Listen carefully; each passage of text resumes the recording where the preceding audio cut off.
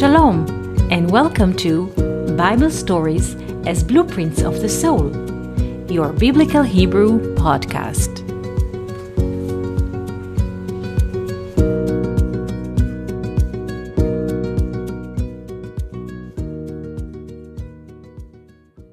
Shalom, and welcome to our Biblical Hebrew podcast.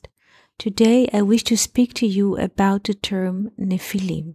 About the word Nephilim, we hear in the book of Genesis, chapter 6, verse 4. This term was occupying people's mind and imagination for many years, and it occupies many movies and many stories, but the meaning of it is simple. So let's read a verse and see what is behind those letters. הנפילים היו בארץ בימים ההם. The Nephilim were in the country in those days.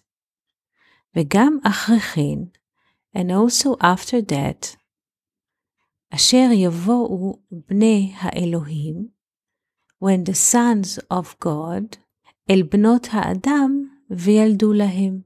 And also after that, when the sons of God came in onto the daughters of Adam, and they bore children to them.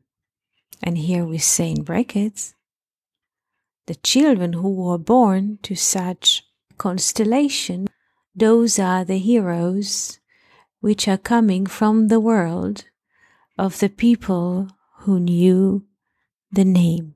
The book of Zohar says something very interesting.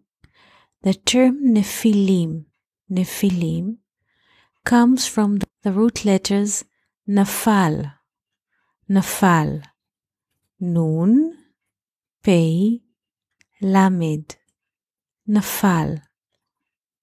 The meaning of the verb Nafal is falling, falling.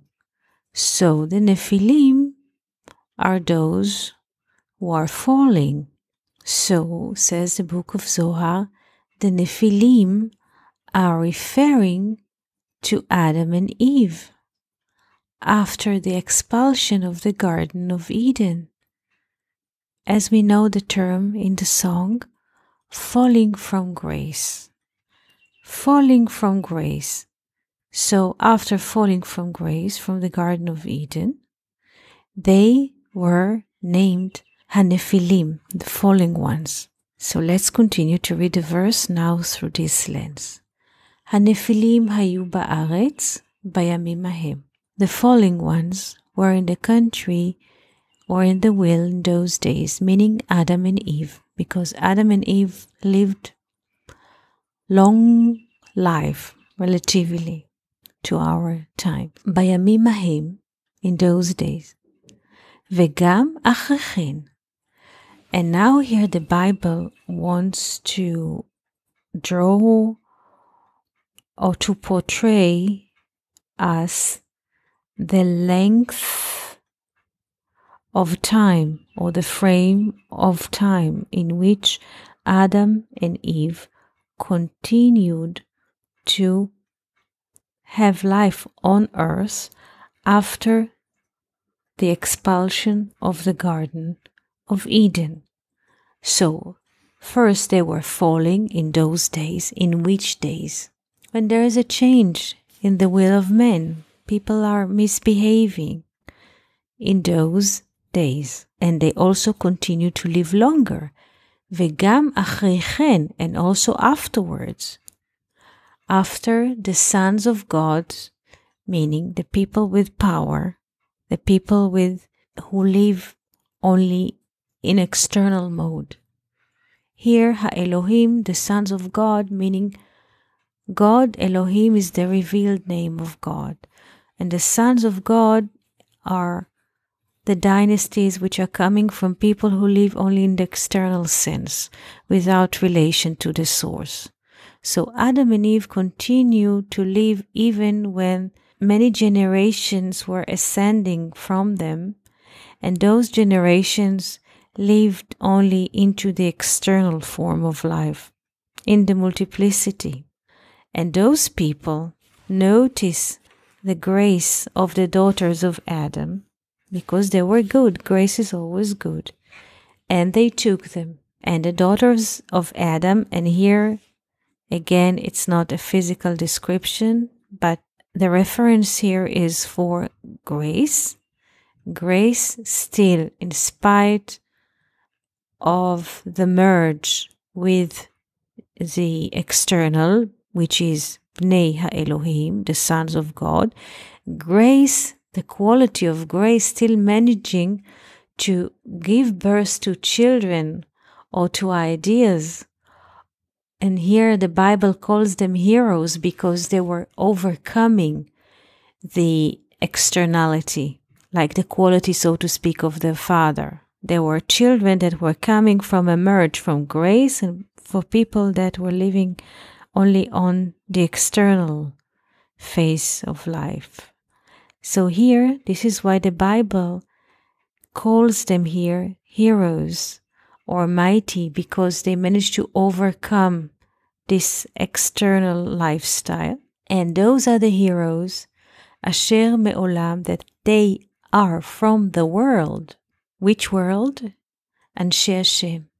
The people who has the name. Which name? Adam. So here in this verse we have a chain of thinking. First of all, the Nephilim are Adam and Eve. Why do they name Nephilim? Because they were falling from grace, falling from the Garden of Eden with unification with God. And after living outside of the garden, there's a bit of goodness remains in the world.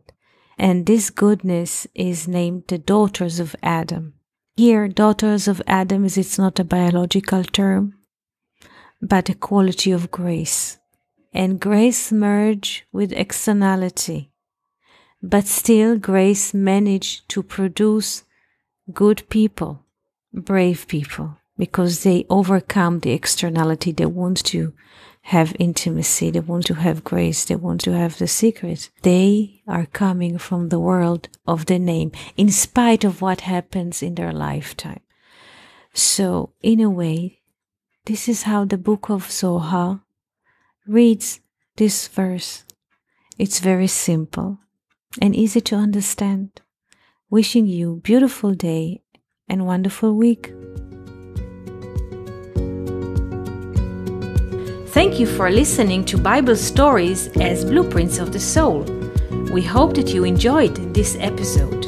If you have any questions, comments, or would like to hear more about a certain topic, just write us an email to Hebrew at learnoutlive.com. We are always happy to hear from you. For more episodes, videos, and articles like this, please visit our website at hebrew.learnoutlive.com. We also would like to invite you to join our live classes.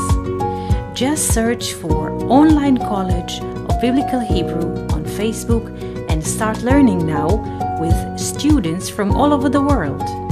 Kol Tuv and Shalom.